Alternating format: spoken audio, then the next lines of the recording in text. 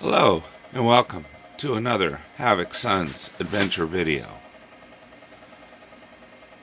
Today we're going to be looking at a fairly rare computer. Uh, now this particular model computer actually was pretty common, but this version of it was extremely rare. Now, I've been nursing this along for some time, and as you can see here, this is the Tandy 1000, the original first Series 1000. Well, actually, this I think is the third Series 1000. There's the Tandy 1000, then the Tandy 1000A, and then the Tandy 1000 HD. And that's what this one is. Now, I have been nursing this computer along for some time. And I don't know if you can hear it, but it definitely has some issues. Uh, the hard drive. Now, this is the second hard drive that I put in it. The original hard drive, I believe, was a 10 megabyte um, Tandon, I think, which were horrible drives and they didn't last. And, and so I replaced it with a Seagate 20 megabyte. Now, even in time, I'm having problems with these drives as well. So we're going to go ahead and take this unit apart today. We're going to look at the insides. We're going to look at the hard drive. And we are going to see if we can uh, get this one uh, running perfectly again. Why don't you join me? Well, like with most computers, you would originally start looking for screws on the back of this system to remove it, but that's not how these come apart. Now, the 1000 series were a little rare because of a lot of the things that kept them somewhat proprietary and more importantly, not very expandable. As you can see here, there's only three expansion slots, external. You got one fan that cools the entire system your power supply is over here. Uses a standard computer modular cable. Uh, the front of it uh, down below can't really see it here. Let's see if I can turn it up for you a little bit. But there's one screw right there, another one on that end. I've already started removing it. So, let's open the case and let's see what's inside. So after you remove the screws, you just push it forward and it slides right out.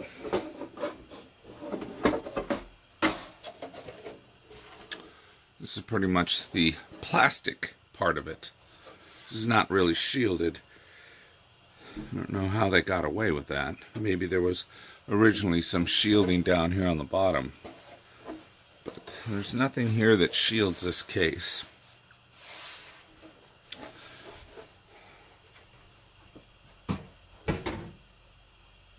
Now, what makes this computer, I think, highly uh,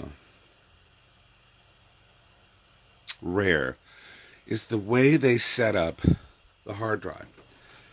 First of all, they went with a full high, a full size, half height hard drive. Now this is the same uh, basic physical format, physical measurements as the original Tandon that was in here, the original 10 meg, but this is a Seagate 20 meg. And if I sound a little under the weather, it's because I'm more than under the weather. I'm 10 feet underground. That even makes any sense.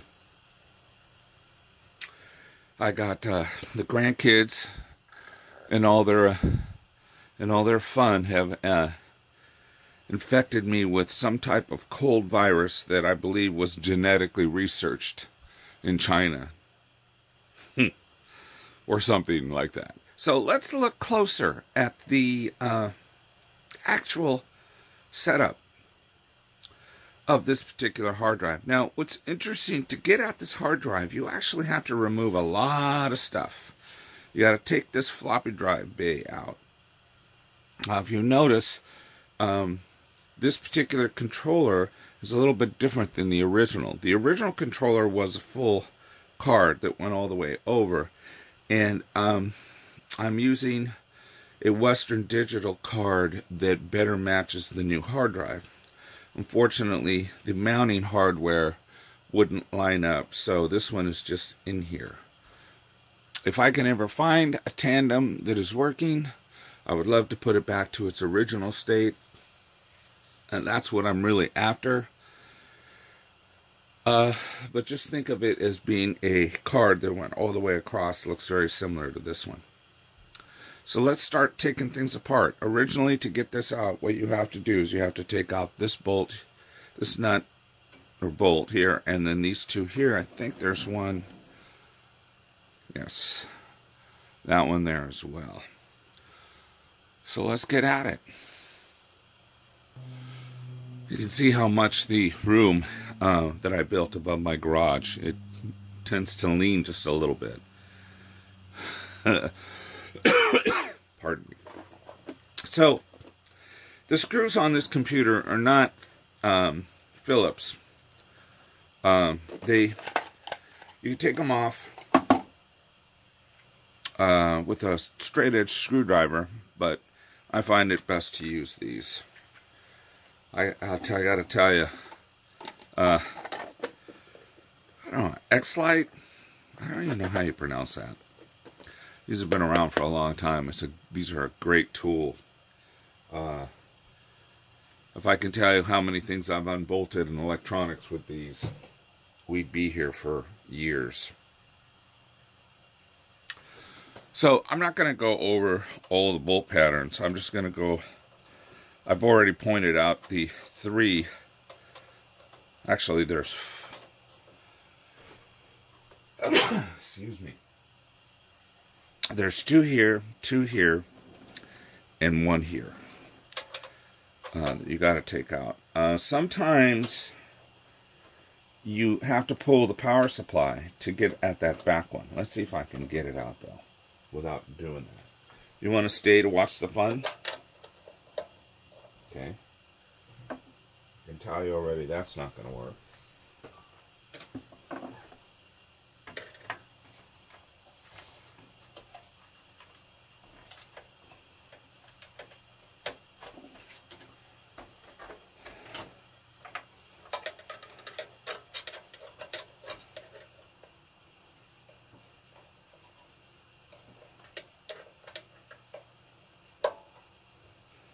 What's probably going to happen is I'm going to drop this. I, this screwdriver is not magnetic. and that is going to be, that's going to be fun. Let's see if I can get something to get that out with. Well, that was fun. I should have filmed it. I cheated. I used those. All right. So let's see if we can get the rest of it out. Yeah, it looks to me like they didn't really think this through all the way as far as mounting this hard drive. Uh,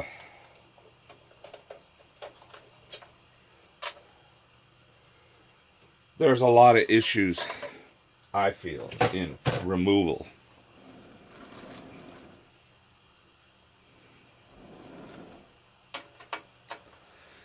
Think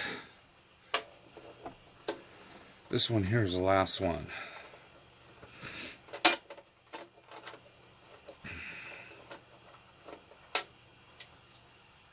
You know, and if you need more group, uh, grip, X-Lite has a nice little, this little thing here, little handle, give you more torque.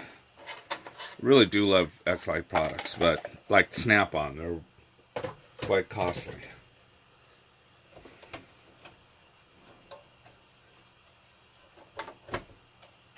Yeah, it's you know it's been so long since I did this that I've forgotten, but now I recall that the bake This bay takes brings everything out with it.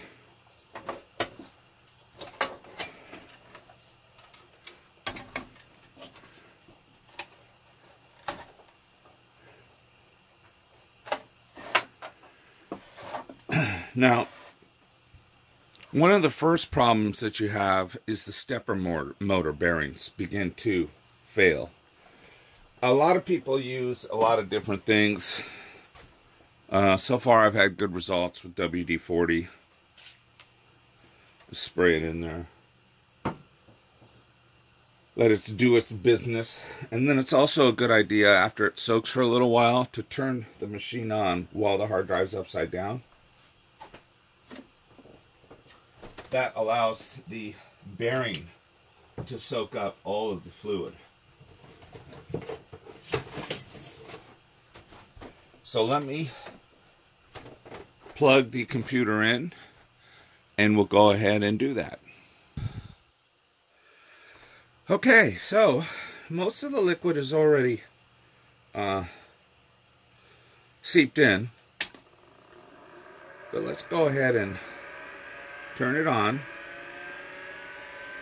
And I don't know if you're going to be able to see the spindle motor, motor is turning.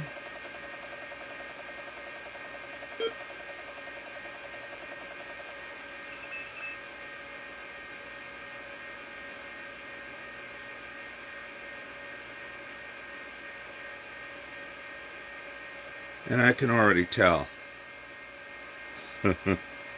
Just by the sound of it. That it booted to the C drive.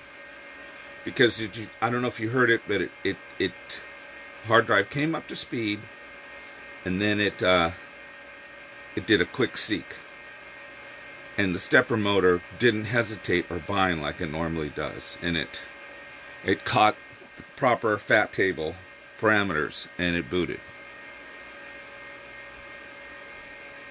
But let's go on to uh, look at the rest of the machine since we've got it open.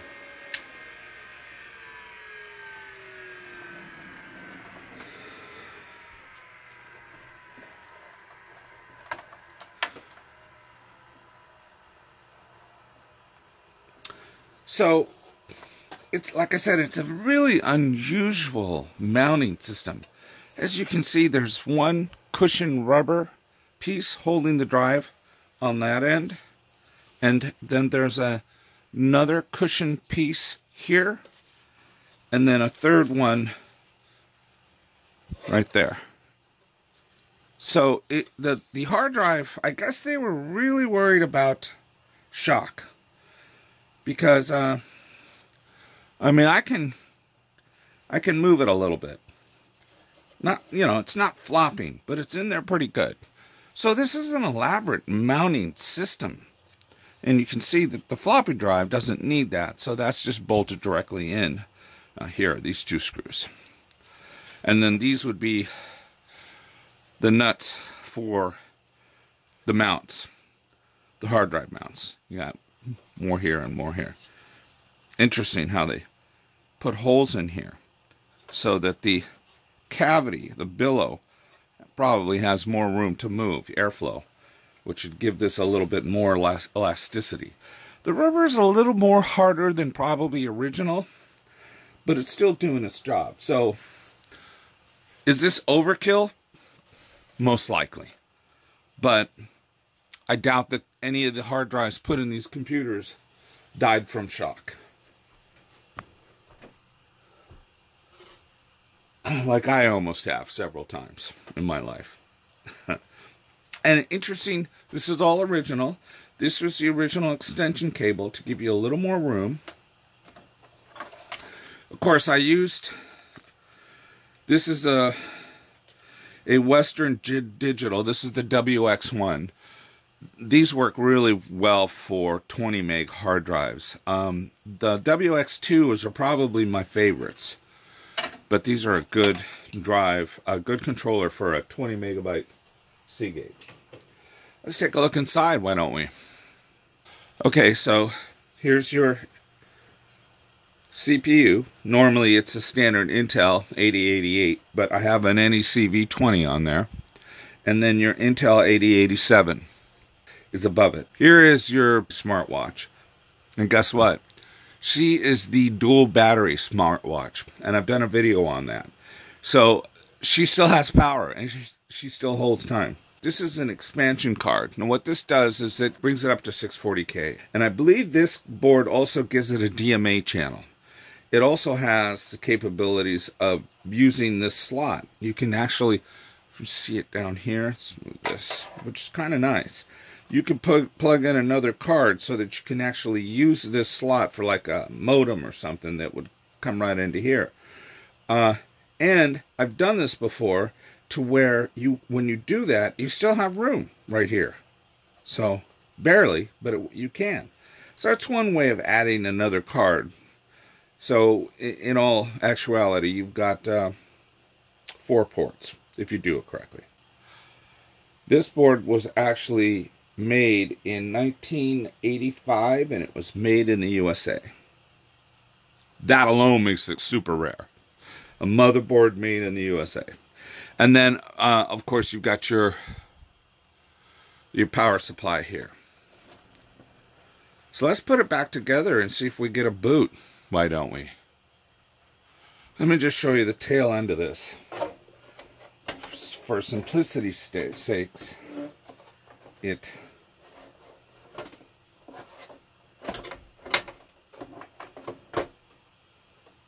just goes like that.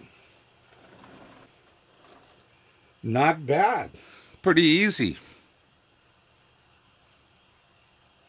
Okay, one of the things I like to do was I'm put when I'm putting these back together is go ahead and put in all the, the bolts, but don't tighten them in all the way until you get them all in. and make sure you put them in the right holes.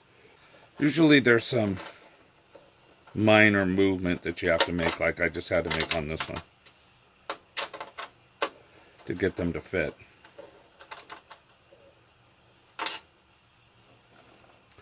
Now, I'm not attempting to put this one in right now because it's going to require a magnetic screwdriver.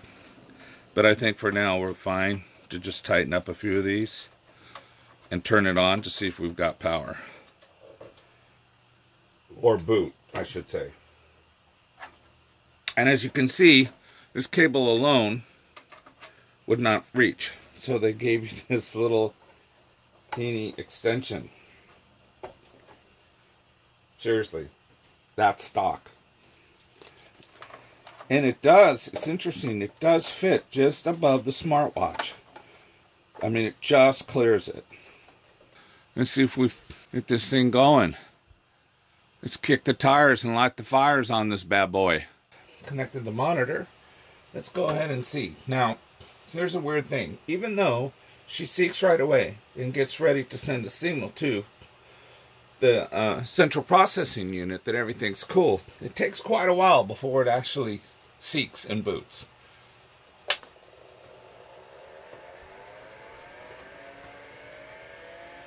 At least that's what I remember.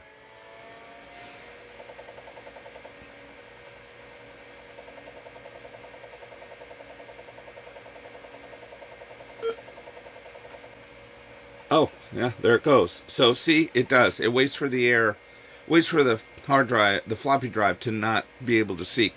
Why it's taking so long, I don't know. Um, but I recall that the tantrum, Tandon hard drives, we call them, like I said, tantrums. Um, the boot time was much faster. So there, it could be missing. Probably the original controller sent something to the BIOS that said, "Hey, let's stop looking here, let's go ahead and boot. But as you can see, it booted right to um, my, I love this, DA5 uh, memory manager. And uh, the hard drive is not seeking periodically as it used to. So now we have a 100% functioning, although it may not be 100% original it's double the capacity, so it is an upgrade. They were tentatively around. These were available at the time of purchase, so you could get these. Uh, it's a blank screen, so it doesn't burn a hole in the screen. It blanks out. Okay, so I buttoned it all back together as it is booting. And uh, this has been a couple hours later in the day. And I got it all buttoned up, looking nice. And I've got it zoomed in here so that you can see the software that I'm using. But as you can see, I've got it all put back together. But I wanted to talk briefly about this software. This software has been uh, very good for me as far as maintaining my hard drives as long as I have. I have all all of these computers here have pretty much all yeah, they're all they all have MFM hard drives except for my my EX. And and I keep them running in pretty good shape and I've I've uh, with the tricks, one of them I showed in this video, they're they've lasted a lot longer than they should the hours on them. But this is a program from Microsoft called Calibrate. Uh, I actually like SpinRite a little bit better, but for for right now, I wanted to use Calibrate because Calibrate works a little faster. But on older computers that are running DOS 3.2 or 3.3, right around there, you want to use SpinRite. That is a much better program, and it was built just for these particular types of computers. So I would have to say mission successful. And all the rest of these machines are still flying great. This one here is my EX. It's it's it is the cheapest version that you could ever buy at Radio Shack. There's just nothing there to it. No hard drive, no expansion. It does have 640K though. And here's my SX. Now, there have been videos out there that say that um, the SX was not the best selling uh, computer that Radio Shack built. All I know is that at our store, we sold more SXs than we did anything else. I don't know what what the actual, you know, final tally was. I just know that what, when I worked at Radio Shack, we were moving more of these than anything else. And then there's the HX, and there's the TX, the TL, and the RSX. And as a matter of fact, I believe they all, yeah, they're all on. they're just in uh, blank screen mode. Uh, and they're all 100% functional. So again, thank you for watching. Thank you for subscribing. Like always, have a great day and a better life. See ya.